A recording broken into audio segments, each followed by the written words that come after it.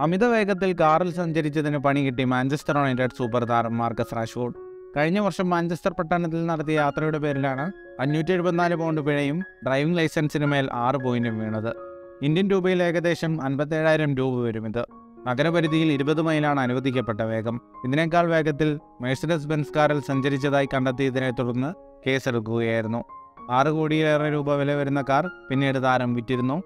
United നിരയിൽ ഏറ്റവും മോശം പ്രകടനവുമായി പിറകിൽ നിൽക്കുകയും ദേശീയ ടീമിൽ ഇടം ലഭിക്കാതെ പോവുകയും ചെയ്ത രണ്ടായിരത്തി ഇരുപത്തൊന്ന് ഇരുപത്തിരണ്ട് കാലത്താണ് പിഴയ്ക്ക് കാരണമായ നിയമലംഘനം നടക്കുന്നത്. പുതിയ സീസണിൽ പക്ഷേ മിന്നും ഫോമിൽ കളിക്കുന്ന റാഷ്ഫോർഡ് ടീമിനായി കോച്ച് ടെൻഹാഗിന് കീഴിൽ ഇരുപത് ഗോളുകൾ സ്വന്തമാക്കി കഴിഞ്ഞു. ഖത്തർ ലോകകപ്പിലും ഇംഗ്ലീഷ് നിരയിൽ ബുക്കയ സാക്കയ്ക്കൊപ്പം ടോപ്പ് സ്കോററായിരുന്നു. കഴിഞ്ഞ ദിവസം ലീഡ്സിനെതിരായ കളിയിലും റാഷ്ഫോർഡ് വല കുലുക്കി. ഓൾട്രാഫോർഡിൽ തുടർച്ചയായ ആറ് കളികളിൽ ഗോൾ വല കുലുക്കി എന്ന റെക്കോർഡിൽ വെയിൻ റൂണിക്കൊപ്പം എത്തുകയും ചെയ്തു. ഫുട്ബോൾ ലോകത്തെ കൂടുതൽ വാർത്തകൾക്കും വിശേഷങ്ങൾക്കുമായി സ്പോർട്സ് കഫേ ഇപ്പോൾ തന്നെ സബ്സ്ക്രൈബ് ചെയ്യുക.